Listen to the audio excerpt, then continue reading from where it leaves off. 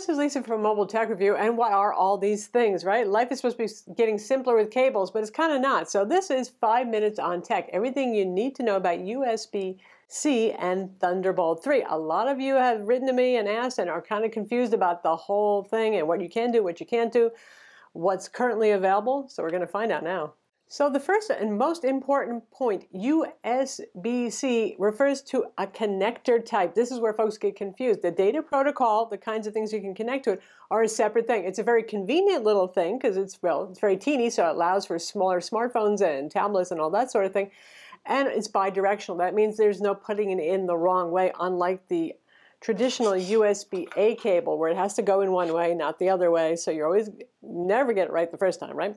So that's what's good about USB-C. It can support more than one kind of protocol for communication. One is USB B. So we have the USB-C Gen 1, Gen 2 thing we'll get into. And the other is it can also do Thunderbolt 3. So that leads to confusion. At first it seems great. One port does a bunch of things, but that's the confusing port. You look at it, you look at a device that has one of the ports and you say, oh, does that mean it's Thunderbolt 3 or does it just have USB-C? And now is it USB-C Gen 1 or USB-C Gen 2? Oh boy. So let's figure out what all those things mean. First off, we have a lot of lovely laptops right here these days that have these kind of ports on it. The Dell XPS 15, for example, has port. We have the Acer Swift 7 that we reviewed that has two of them. Nice, beautiful, skinny laptop. And that's what allows it to be very skinny, just like the HP Spectre non-X360 is very skinny because this, these ports are absolutely tiny. Then we have the big old Acer Predator gaming laptop that has Thunderbolt 3 on board too. The Dell also has Thunderbolt 3. So how do you figure all this out? First off, we now have what's called USB-C Gen 3.1, Gen 1, and Gen 2. The USB IF organization came up with the name change here. So traditional USB 3.0, it's been around forever, the little blue traditional port that you have on your laptops. That's USB 3.0. It's now called 3.1. Go ahead, figure that out. So if you have your basic USB-C 3.1 Gen 1 port means it does exactly the same stuff that USB 3.0 did in terms of speed, 5 gigabit per second. The faster USB-C 3.1 originally called is now called Gen 2. That's 10 gigabit per second. So two different speeds. You have to read the specs on the laptop. When we review them, we always talk about whether it's Gen 1 and Gen 2. Typically, you don't see Gen 2 unless the laptop also supports Thunderbolt 3. That's just the way it happens to, to roll. Now, if you do have USB-C Gen 1 port, you know, the old 5 gigabit per second, there's still some good things because they usually support USB power delivery 2.0. That means bidirectional power. Instead of your laptop can charge your smartphone, it means that it can be charged via USB-C, the laptop itself, which is why you can take my uh, Google Pixel charger, for example, and charge this laptop right here.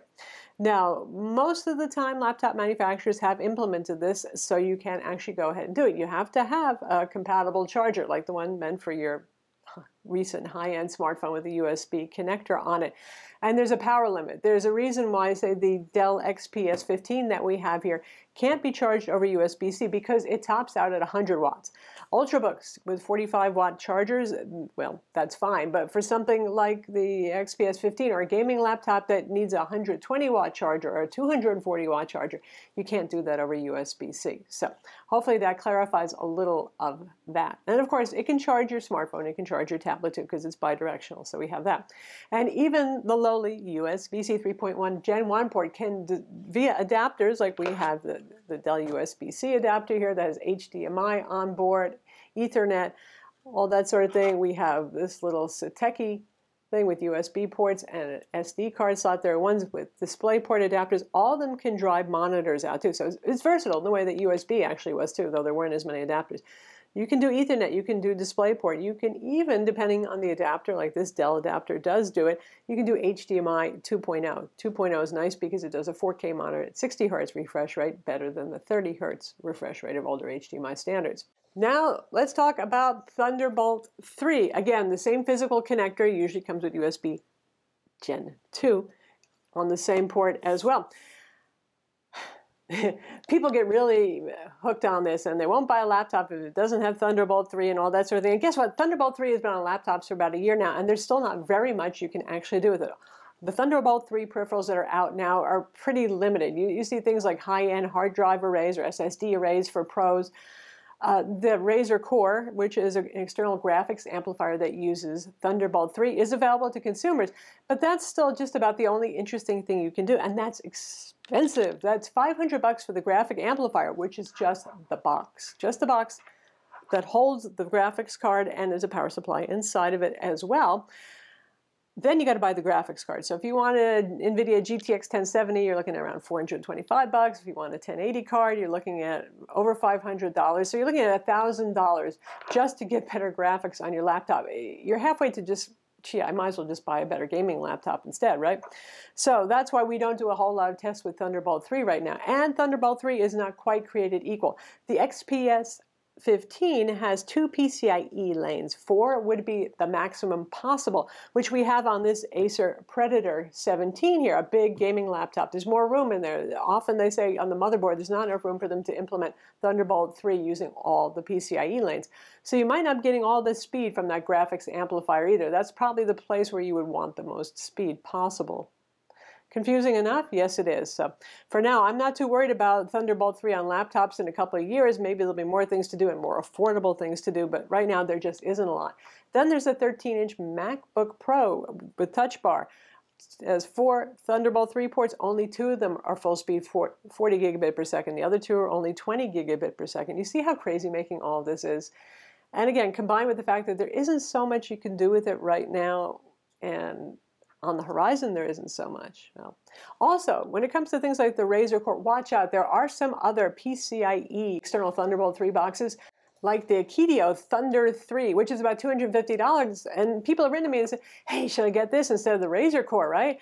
It's half the price. Well, read the fine print on these boxes because it says specifically it does not support graphics cards. So you could put a PCIe SSD card in there. Not really a very interesting thing to do, right? Though there, there are a few things that you could do, but read the fine print because the graphics amplifier needs to have a power supply sufficient to drive a gaming graphics card. Well, those are usually requiring at least 350 watts up to 500 watts. So that adds to the cost of it. And they need a pretty beefy fan because we all know graphics cards get hot. So hopefully you have a better idea of what all of this means about how important any one of these connectors are and what you can do with them. And for right now, uh, if you're looking at USB-C 3.1 Gen 1 versus Gen 2, the speed difference will be compelling if when we get to 8K monitors and also when, when you know, these kinds of things. USB-C based SSDs get faster and they start being Gen 2. Then you get even faster data transfer speeds. Right now, this Samsung T3, which is pretty fast and pretty popular, a little teeny SSD, uh, it's still Gen 1. So there you have it.